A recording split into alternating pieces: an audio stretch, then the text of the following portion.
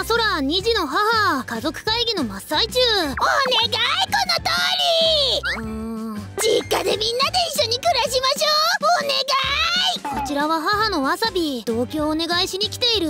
でもな。いいんじゃない？俺は賛成だよ。ほらコウジ君もこう言ってくれてるしうーん。私がここまで同居を渋るのには理由がある。母は大の男嫌いなのださんに不倫されてからっていうのは聞いてるけどそんな状態でコージやフジと仲良くできるのかな？正直不安しかない。でもお母さんも60だしこのまま一人で過ごさせるのもな。うん分かった。一緒に暮らそう。おばあちゃんと住む。しコウジとフジと仲良くしてね。もちろんやこうして私たちは同居することに。えーっとスマホもですか？したのはいいけど早速不安的中かいそうよ。定期的な浮気調査。抜き打ちのスマホチェック。私だって男嫌いとはいえ身内くらいは信用したいな。だからこれくらいはやらせて。あのねお母さん。これくらいって。やりす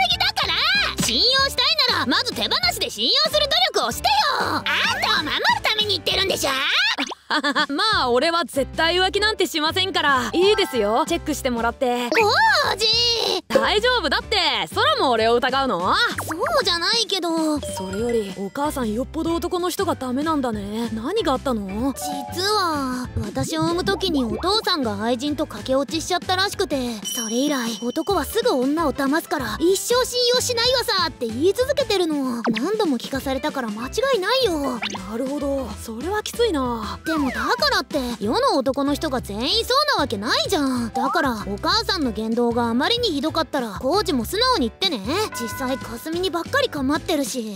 いい富士女に比べて男は品がないの。だから人一倍頑張らないとまともな人間になれないのや。男に生まれた時点でマイナス7そそうなんですか？ほら言ったそばから。お母さん。いい加減なこと言わないで。まだ6歳の子になんてこと吹き込んでんのよ。可愛い孫が道を誤にならないよう教育してるだけじゃない。それともあんたは自分の子を信用してないのかしら。うーんこんなここで言い争ったら余計不治に悪影響だ。それよりもうすぐコウジの誕生日だし当日は好きな料理いっぱい作るからね。えあうん？楽しみだなはあ何それ。男は普段偉そうにしてるからわざわざ気を使う必要なんてないのや。代わりにかすみちゃんの好きなものを作ってあげわさい。人がせっかく空気変えようとしてんのに。このばあさんはよ。母の男嫌いは治る気配もなく不安なまま過ごしていた。そんなある日工事の上司の訃報が入った。え？柳さんが？そうなんだ。心不全だったらしくて。そういうことだからお母さん葬儀中は子供たちのことをお願いね。お留守番だって。お留守番か。はいはいそんなに心配しないで。大丈夫だから。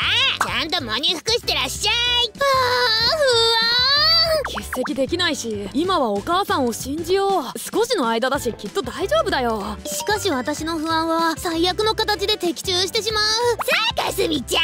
次はおままごとでもしましょうかちゃん富士は一緒に遊ばないの？お腹がお腹が痛いです。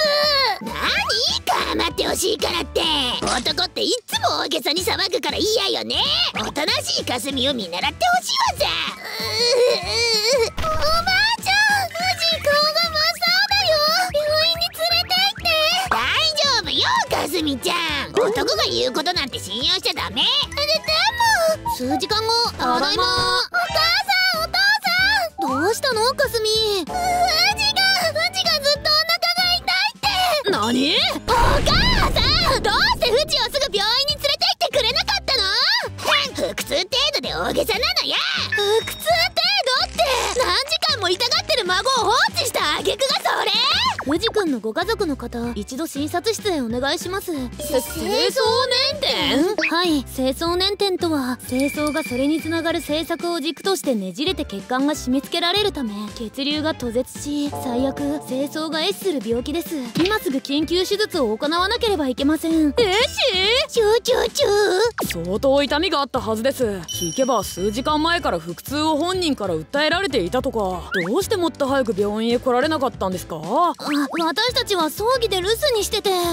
そんなに苦しそうに見えなかったのやいいですか？よく聞いてください。青少年転生は新生児から思春期前後の男性が発症しやすく症状が現れてから6時間以内なら手術をすれば問題ありませんが12時間では 50%24 時間では完全に政策が壊死します。藤君は本当にギリギリの状態なんですよ。えそんな病気！女の私が知ってるわけないでしょ！男はいつも大げさに表現する生き物だから気が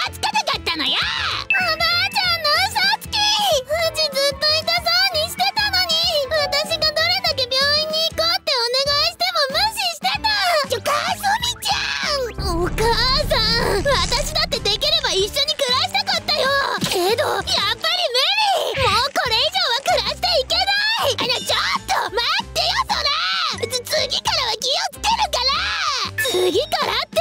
もし今日富士に最悪のことがあったらどうするの？次なんてないじゃない。これ以上お母さんの近くに子供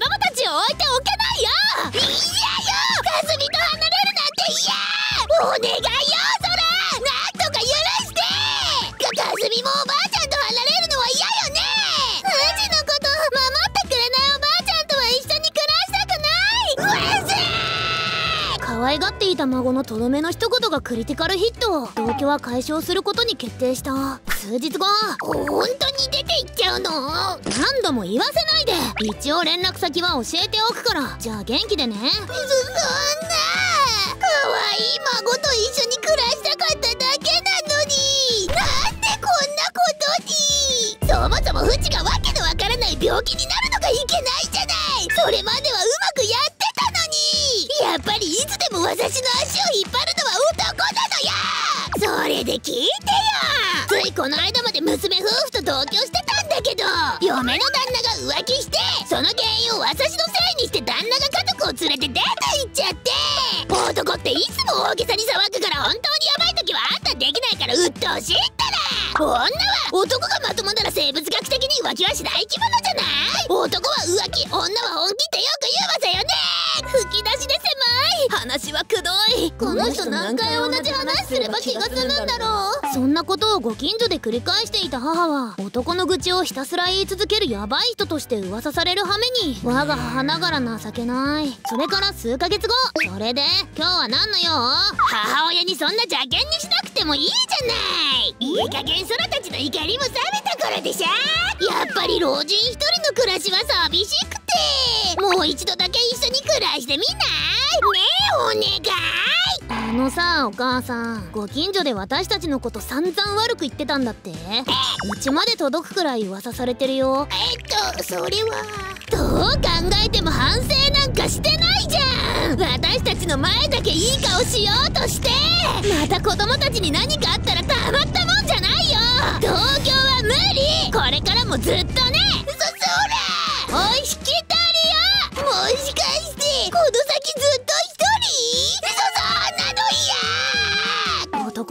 とか女だからとかそれ以前の問題だということに母が早く気づいてくれますように。